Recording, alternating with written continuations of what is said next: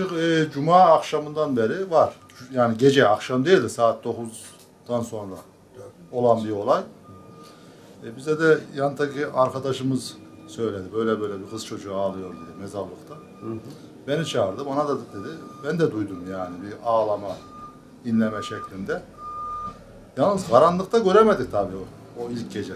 Polis arkadaşları falan çağırdı arkadaşımız. İki tane polis arkadaş geldi. Onlar da indiler aşağı baktılar. Herhangi bir şey göremediler. Ama tekrar cumartesi akşamı da aynı olay olmuş. Bu dört gündür devam Dört eden bir gündür olay. devam Ha, eden bir Sonra olay. gören oldu mu? Görmüş arkadaşlarımız görmüş. Hatta Ne gördükleri şey nedir? e, bir kız çocuğu yani 12, 18 o yaşlar arasında tahminlere göre o yaşlar arasında bir kız çocuğunun Üzerinde Orada- ne var? Yani gizemli diyorlar. Üzerlerinde siyah bir şeyler üzerinde olmuş. siyah bir elbise görünüyor. Ben yüzünü görmedim ama siyah elbise kaçarken e, siyah elbise olduğunu ya biraz yani böyle fazla net olarak da görmedim de siyah elbisesini gördüm yani.